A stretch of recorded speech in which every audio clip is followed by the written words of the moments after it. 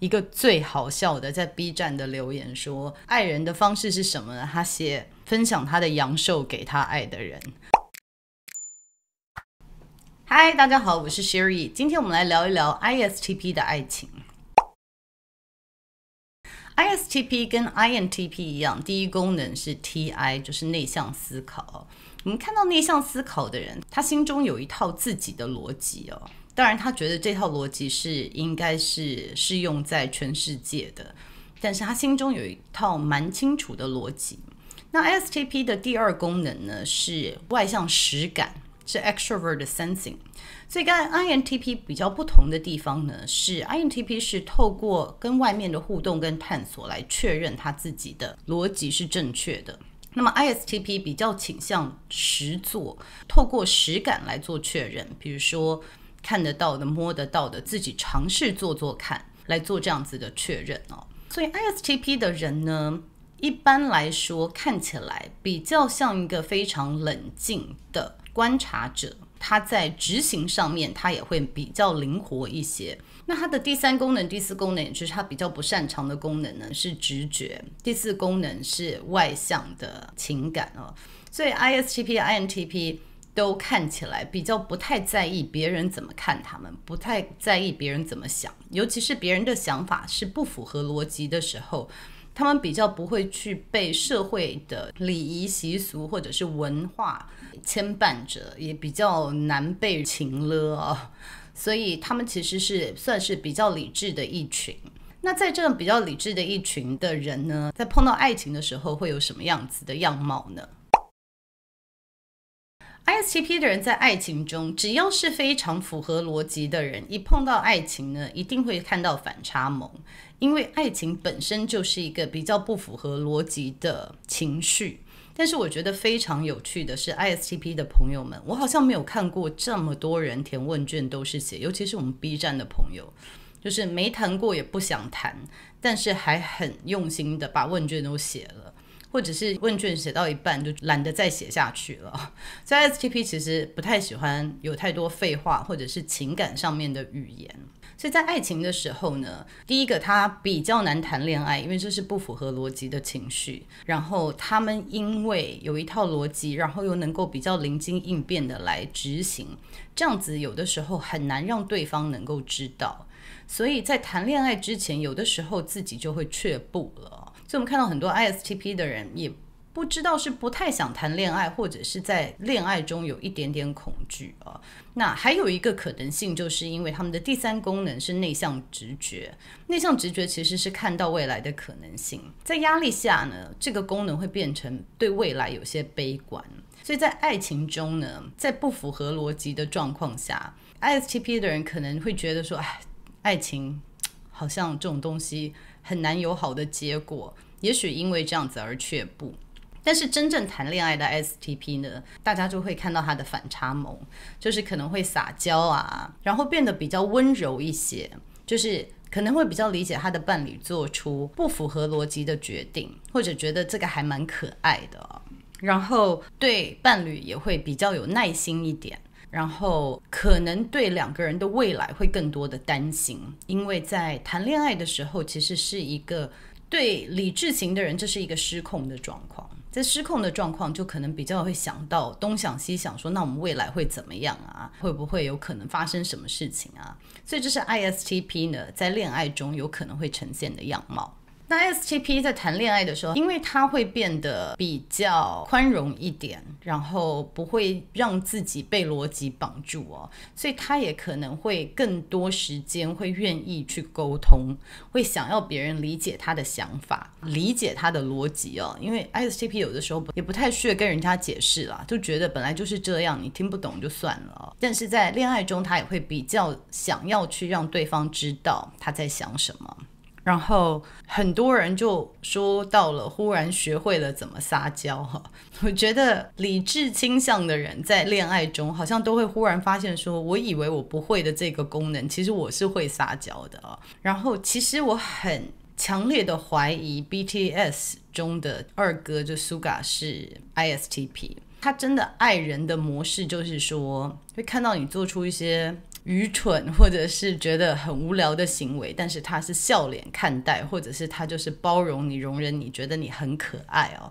这也是他爱人的一种方式，也是他在恋爱中会呈现的一个模样。那再来就是在恋爱中，S T P 是比较会去照顾人的。那通常的时间呢，他会比较说井水不犯河水，我不太需要去照顾别人，每个人都应该为自己要负责。但在恋爱中，他们给爱的方式也是去照顾别人。我看到。一个最好笑的在 B 站的留言说，爱人的方式是什么呢？他写分享他的阳寿给他爱的人，就是 ISTP 多实际啊，他爱你就是直接把他的阳寿分享给你了，不是送花之类的，就是这个是他对你的爱情的一个表态。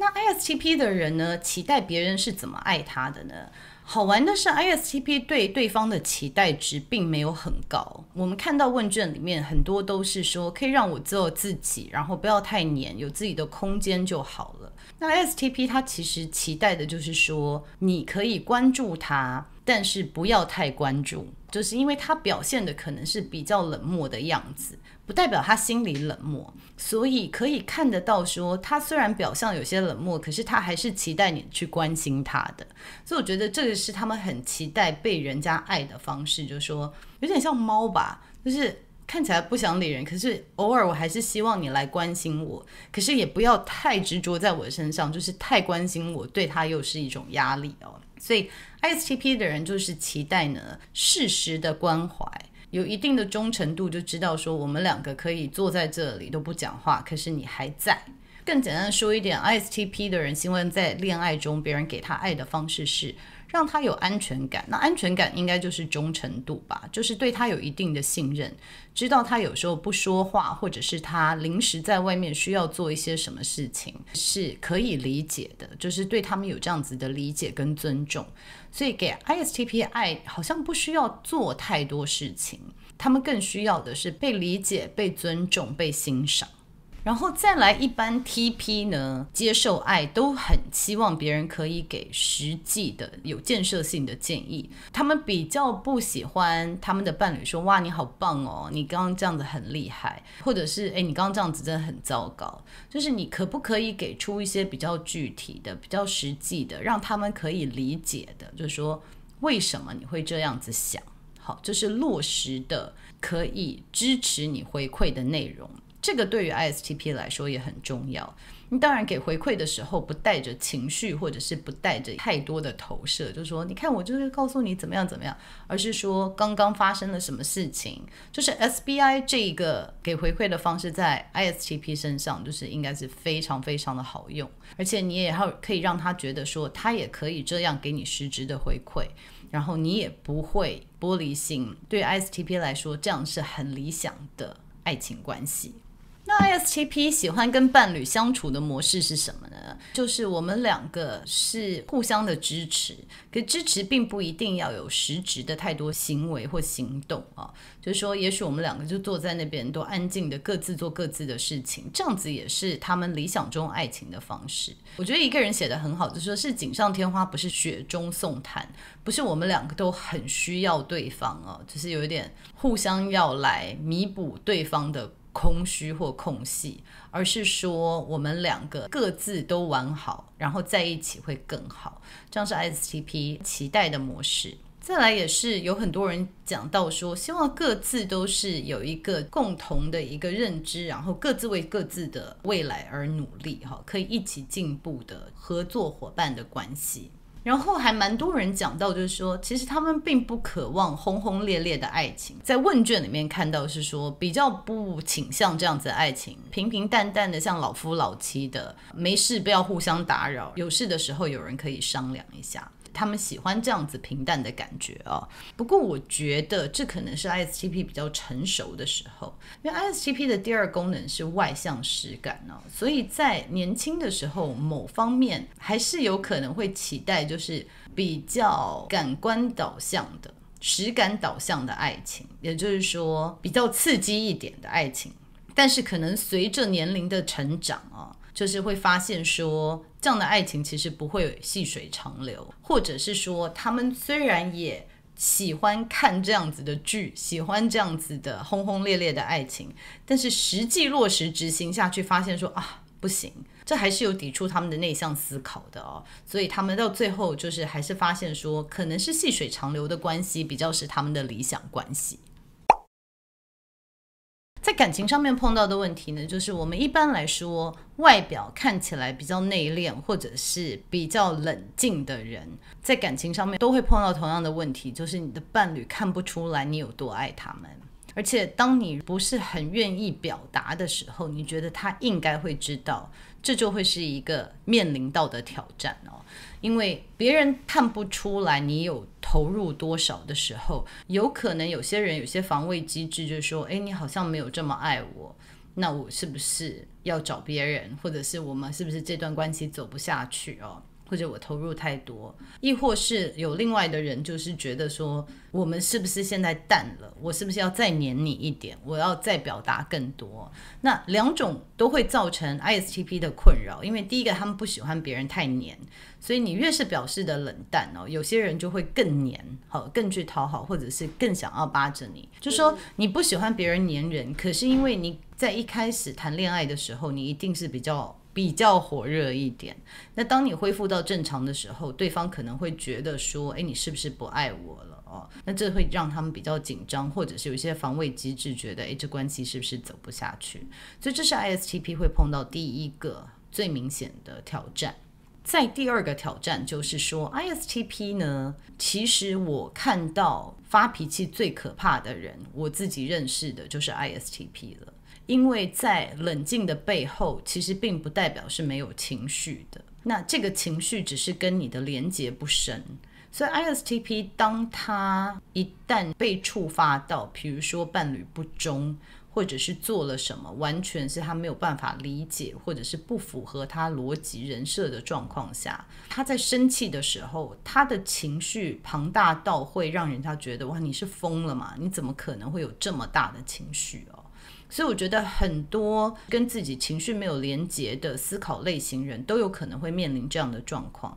但是我自己看到 ISTP 是尤其哦，他真正发疯的时候，他只看得到他这一刻的情绪，他没有在想说未来可能会发生什么事情，或者是话说出去了收不回来等等哦。那这个也是 ISTP 自己要练习的东西，就是说你要看到，就是说你其实没有你想象的永远这么冷静。碰到事情，不是每一件事情都可以透过逻辑来分析。有的时候你是有情绪的，尤其在爱情关系中，就是趁早的去有自我觉察，你自己有这个情绪，然后适度的表达跟沟通。要不然在误解很久，你忽然大爆发的时候，你自己跟你的伴侣都没有办法承受这样子大吵或者是大爆发之后的结果。然后再来一个，就是 ISTP 一直在问卷里面很可爱，讲说很讨厌跟人相处，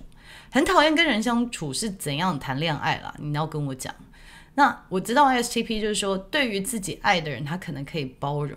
但是你知道，你爱一个人，你要跟一个伴侣在一起，你多多少少要接触到他的家人，对吧？所以呢，很多时候 ISTP 在情感上面碰到的问题，不是伴侣本身，而是伴侣的家人跟伴侣必须要面对到的亲朋好友们呢。有时候会带给伴侣一些困扰，就说，诶，人家的老公老婆都出来社交，为什么你都不出来？这样子啊，所以这也是 ISTP 有可能会碰到的问题。再来就是刚刚讲到，面对到压力或者是太爱。或者是觉得自己脆弱的时候，ISTP 很有可能对未来把它想的太悲观。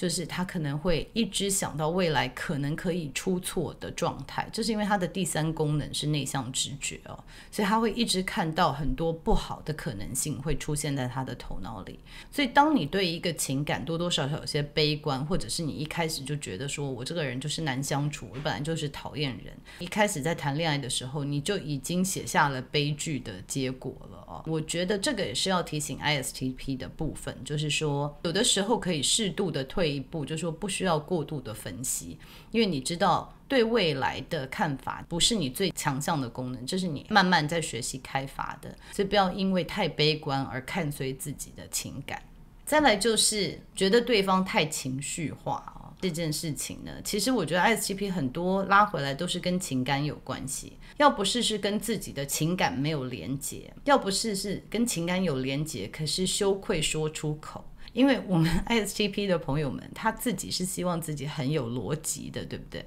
那有些话其实是不符合逻辑的，就比如说你跟这个人在一起我会吃醋，像这样的话 S T P 可能说不出来，可是他心里是这样子的感受的哦。所以他有的时候会不好说出他自己真实的感受，因为说出来太丢脸了。那要不然就是说没有办法承受对方的情绪。ISTP 在看到别人情绪爆发的时候，他反而变成异常的冷静。那其实我在录 ISTP 人格类型的那一集就谈到，他就是很棒的这种在压力下可以维持冷静的角色哦，这是 ISTP 的强项。那所以他越碰到人家情绪很大，他反而就更冷静下来了。那这样子反而对对方来说是更有距离感。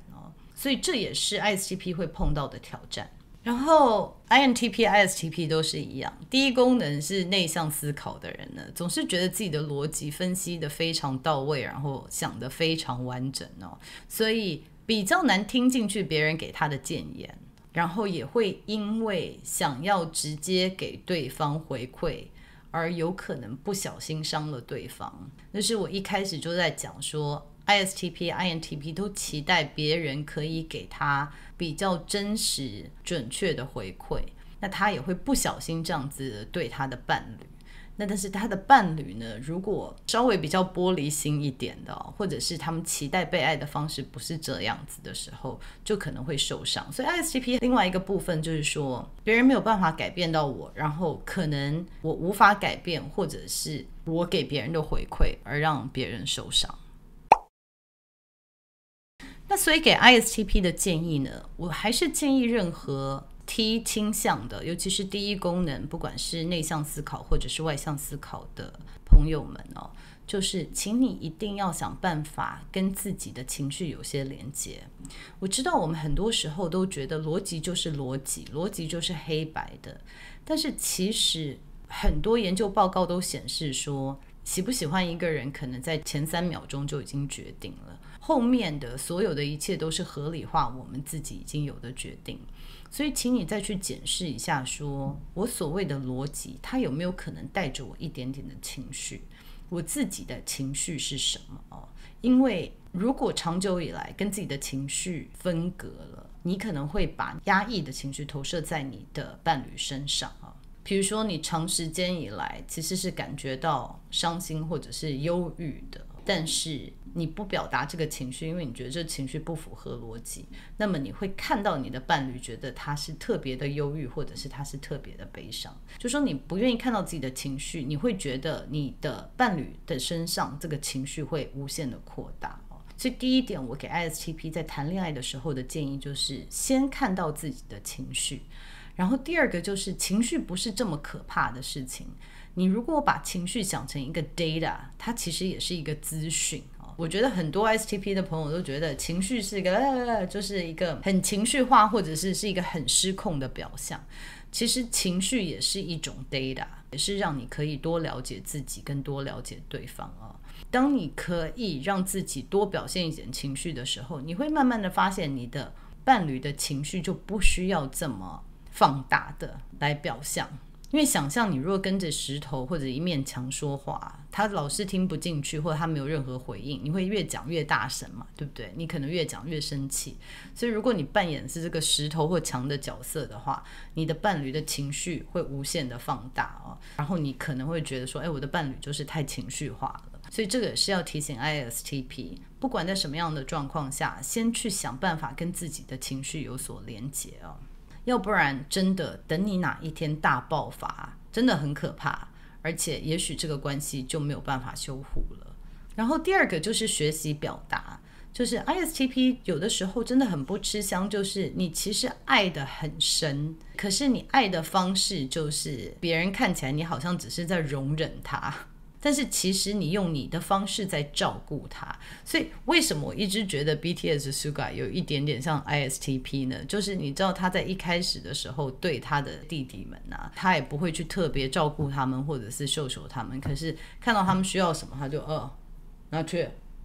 就是很酷的说饿了吗？啊，给你吃，就是这种好像就是 ISTP 给爱的方式，就是说他其实有观察到你，然后他想要提供他的支持，可是因为他没有办法很有情感的表象出来哦，所以有的时候会让人家误解他没有爱的这么深。所以第二个建议真的还是说，适当的去表现哈，就说适当的去说，尤其是因为你很少说，那所以你一说，人家就觉得 Oh my God，你知道，有的人是一天到晚把我爱你挂在嘴上，这种人讲话。你知道效果就没有你讲的来的厉害啊！你开口说我爱你，或者是撒个娇，其实它的效果是很强大的。所以适度的去表达你自己哦。再来就是不喜欢跟人相处的部分，我觉得你可以跟你伴侣讲一下，什么是你可以容忍的范围内，什么是你不能，因为你其实没有那么喜欢社交。如果刚好你碰到一个蛮喜欢社交的伴侣的时候，